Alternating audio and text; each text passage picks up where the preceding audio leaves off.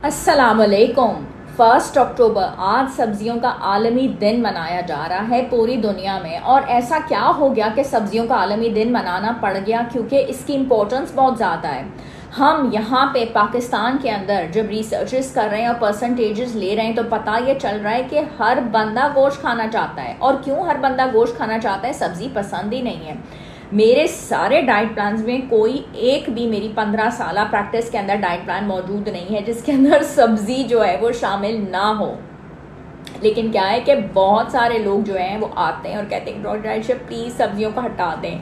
मैं या मेरे मियाँ या मेरे बच्चे और हम तो सब्ज़ी की शक्ल भी नहीं देखना चाहते, हम सब्ज़ी को पसंद ही नहीं करते, क्योंकि बचपन से आदत ही नहीं डाली होती लेकिन अब जब रिसर्चेस हो रही हैं और हो चुकी हैं, और उससे जब पता चला है कि सब्ज़ी ना खाने की वजह से कोलोन का कैंसर, उसके बाद कॉन्स्टिपेशन उसके बाद हाजमे के मसाइल, मैदे के मसाइल इतने ज़्यादा बढ़ने लग गए हैं लोगों के अंदर तो लोगों ने रियलाइज़ करना शुरू किया है कि फाइबर डाइट लेना मेडिट्रेनियन डाइट लेना बहुत ज़्यादा ज़रूरी है।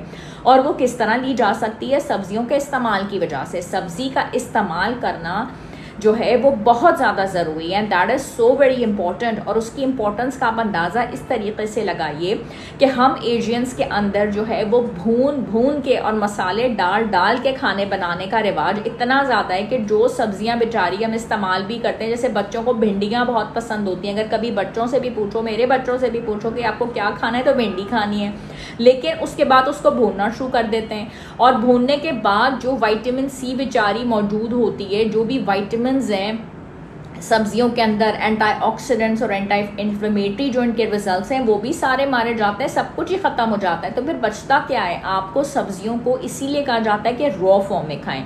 लेकिन मसला ये है कि बहुत सारे बुज़ुर्ग और बहुत सारे बच्चे अगर सब्जियों को रॉ फॉर्म में खाते हैं तो उसकी वजह से उनको बहुत ब्लोटिंग हो जाती है और डाइजेशन प्रॉब्लम्स हो जाते हैं। तो तरीक़ेकार ये है कि आपने जब खाना बना लिया है तो ऊपर से सब्जियों को डालें, ज़रा सा दम दे दें स्टीम कर लें। तो उससे क्या होगा कि जो उसकी अफादियत है, जो उसकी न्यूट्रिशनल वैल्यू है, वो भी ख़त्म नहीं होगी।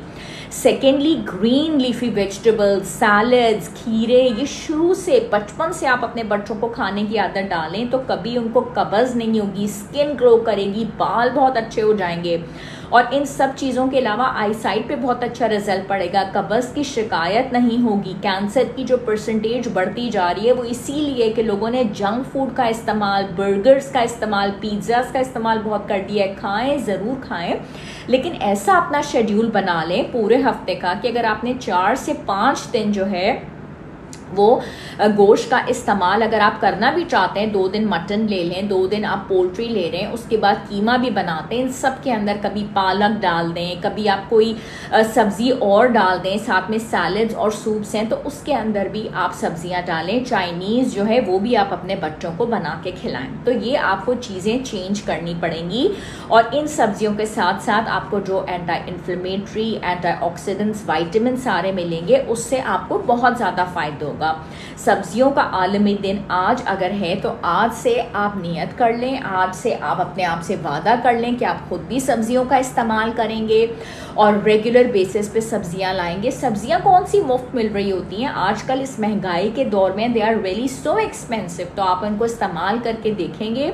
आपको वेट लॉस के भी बहुत अच्छे रिजल्ट्स मिलेंगे बिकॉज़ आपकी कॉन्स्टिपेशन भी बहुत अच्छे तरीके से दूर हो जाएगी। तो आए आज इस फ़र्स्ट अक्टूबर को हम सब्जियों का आलमी दिन भी मनाते हैं और डाइट के अंदर सब्ज़ियाँ भी खाना शुरू कर देंगे। शुक्रिया एंड अल्लाह हाफिज़।